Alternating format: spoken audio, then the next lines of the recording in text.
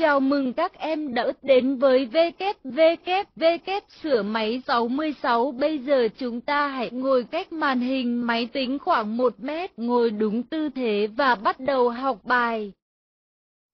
Bài 43. Các vùng kinh tế trọng điểm 1. Đặc điểm Vùng kinh tế trọng điểm là vùng hội tụ đầy đủ nhất các điều kiện phát triển và có ý nghĩa quyết định đối với nền kinh tế của cả nước. Nó được đặc trưng bằng một số đặc điểm chủ yếu sau đây. Bao gồm phạm vi của nhiều tỉnh, thành phố và ranh giới, có thể thay đổi theo thời gian tùy thuộc vào chiến lược phát triển kinh tế xã hội của đất nước. Hội tụ đầy đủ các thế mạnh, tập trung tiềm lực kinh tế và hấp dẫn các nhà đầu tư.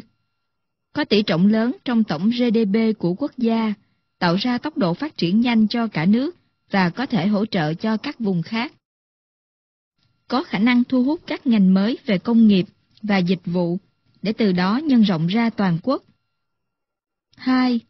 Quá trình hình thành và thực trạng phát triển A. Quá trình hình thành Bản 43.1 Thời gian hình thành và phạm vi lãnh thổ của các vùng kinh tế trọng điểm ở nước ta Vùng kinh tế trọng điểm phía Bắc đầu thập kỷ 90 của thế kỷ 20. Hà Nội, Hưng Yên, Hải Dương, Hải Phòng, Quảng Ninh.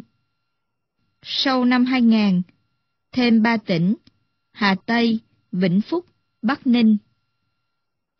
Vùng kinh tế trọng điểm miền Trung, đầu thập kỷ 90 của thế kỷ 20, có Thừa Thiên Huế, Đà Nẵng, Quảng Nam, Quảng Ngãi. Sau năm 2000, thêm tỉnh Bình Định, vùng kinh tế trọng điểm phía Nam, đầu thập kỷ 90 của thế kỷ 20, có thành phố Hồ Chí Minh, Đồng Nai, Bà Rịa Vũng Tàu, Bình Dương. Sau năm 2000, thêm 4 tỉnh, Bình Phước, Tây Ninh, Long An, Tiền Giang. B.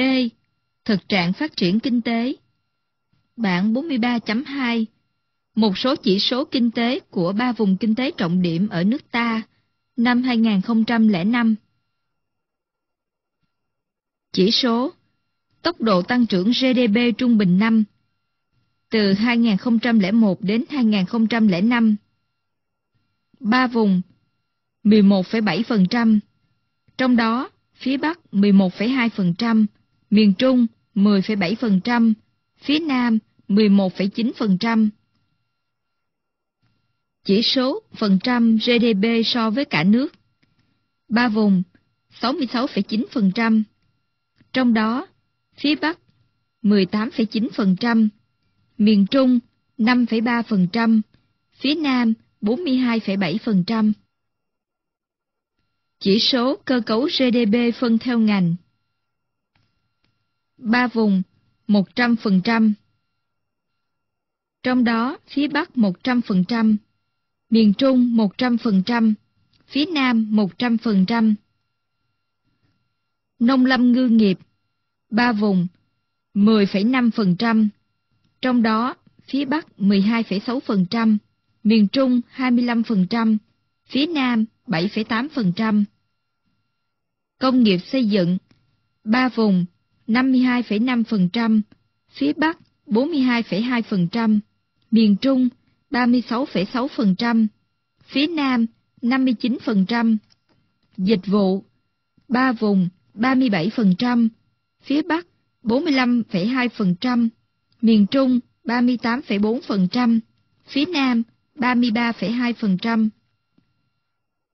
Chỉ số phần trăm kim ngạch xuất khẩu so với cả nước.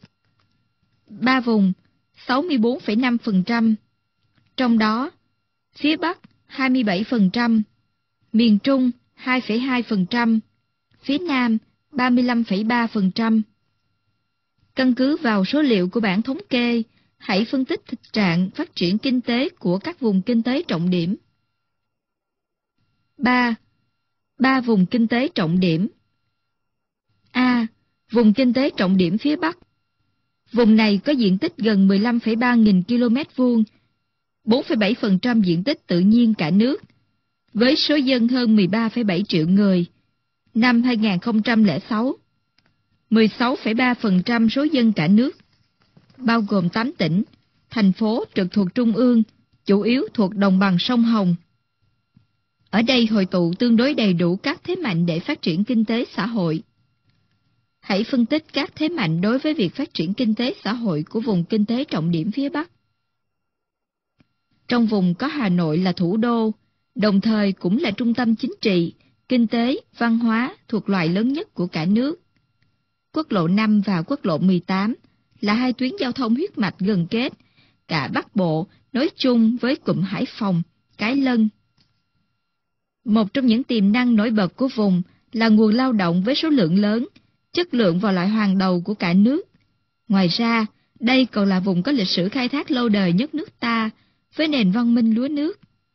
Các ngành công nghiệp phát triển rất sớm và nhiều ngành có ý nghĩa toàn quốc nhờ các lợi thế về gắn nguồn nguyên liệu. Khoáng sản, về nguồn lao động và thị trường tiêu thụ.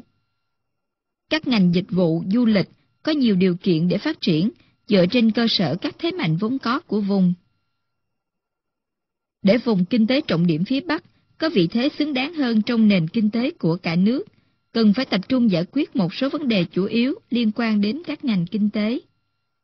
Về công nghiệp, đẩy mạnh các ngành công nghiệp trọng điểm, nhanh chóng phát triển các ngành có hàm lượng kỹ thuật cao, không gây ô nhiễm môi trường, tạo ra sản phẩm có sức cạnh tranh trên thị trường, đồng thời với việc phát triển các khu công nghiệp tập trung. Về dịch vụ, chú trọng đến thương mại và các hoạt động dịch vụ khác, nhất là du lịch. Về nông nghiệp, cần chuyển dịch cơ cấu ngành theo hướng sản xuất hàng hóa có chất lượng cao. B. Vùng kinh tế trọng điểm miền Trung Vùng này trải dài trên diện tích gần 28.000 km vuông, 8,5% diện tích tự nhiên cả nước, so với số dân 6,3 triệu người năm 2006, chiếm 7,4% số dân cả nước, bao gồm 5 tỉnh, thành phố trực thuộc Trung ương, từ Thừa Thiên Huế đến Bình Định. Trong vùng có nhiều thế mạnh để phát triển kinh tế, mặc dù việc khai thác hiện nay chưa tương xứng với tiềm năng. Phân tích các thế mạnh để phát triển kinh tế xã hội của vùng kinh tế trọng điểm miền Trung. Nằm ở vị trí chuyển tiếp giữa các vùng phía Bắc và phía Nam, trên quốc lộ 1 và tuyến đường sắt Bắc Nam, có các sân bay Phú Bài, Đà Nẵng, Chu Lai và là cửa ngõ quan trọng thông ra biển của các tỉnh Tây Nguyên và Nam Lào. Vùng kinh tế trọng điểm miền Trung có nhiều thuận lợi đối với việc phát triển kinh tế và giao lưu hàng hóa. Thế mạnh hàng đầu của vùng là thế mạnh về khai thác, tổng hợp tài nguyên biển, khoáng sản, rừng để phát triển dịch vụ du lịch, nuôi trồng thủy sản, công nghiệp chế biến nông lâm thủy sản và một số ngành khác nhằm chuyển đổi cơ cấu kinh tế theo hướng công nghiệp hóa hiện đại hóa. Trên lãnh thổ của vùng hiện nay đang triển khai những dự án lớn có tầm cỡ quốc gia. Trong tương lai sẽ hình thành các ngành công nghiệp trọng điểm có lợi thế về tài nguyên và thị trường, phát triển các vùng chuyên sản xuất hàng hóa nông nghiệp, thủy sản và các ngành thương mại, dịch vụ du lịch. C. Vùng kinh tế trọng điểm phía Nam Vùng này có diện tích gần 30,6 nghìn km vuông, hơn 9,2% diện tích tự nhiên cả nước, với số dân 15,2 triệu người, năm 2006, chiếm 18,1% số dân toàn quốc, gồm 8 tỉnh và thành phố, chủ yếu thuộc Đông Nam Bộ. Đây là khu vực bạn lề giữa Tây Nguyên, Duyên Hải Nam Trung Bộ với đồng bằng sông Cửu Long, tập trung đầy đủ các thế mạnh về tự nhiên, kinh tế, xã hội. Hãy trình bày các thế mạnh đối với việc phát triển kinh tế xã hội của vùng kinh tế trọng điểm phía Nam. Tài nguyên thiên nhiên nổi trội hàng đầu của vùng là các mỏ dầu khí ở thềm lục địa. Dân cư đông, nguồn lao động dồi dào, có chất lượng cùng như cơ sở hạ tầng, cơ sở vật chất kỹ thuật tương đối tốt và đồng bộ. Hơn nữa, vùng này tập trung tiềm lực kinh tế mạnh nhất và có trình độ phát triển kinh tế cao nhất so với các vùng khác trong cả nước. Về cơ bản, các thế mạnh đó đã và đang được khai thác mạnh mẽ và được minh chứng thông qua một số chỉ tiêu kinh tế cụ thể của vùng. Trong những năm tới, công nghiệp vẫn sẽ là động lực của vùng với các ngành công nghiệp cơ bản, công nghiệp trọng điểm, công nghệ cao và hình thành hàng loạt khu công nghiệp tập trung để thu hút đầu tư ở trong và ngoài nước. Cùng với công nghiệp, tiếp tục đẩy mạnh các ngành thương mại, tín dụng, ngân hàng, du lịch, vân vân cho xứng với vị thế của vùng. Câu hỏi và bài tập 1. Tại sao nước ta phải hình thành các vùng kinh tế trọng điểm? 2. Trình bày quá trình hình thành và phạm vi lãnh thổ của các vùng kinh tế trọng điểm. 3. Hãy so sánh các thế mạnh và thực trạng phát triển kinh tế của ba vùng kinh tế trọng điểm. Cảm ơn đã xem, mời bạn đăng ký để theo dõi các video tiếp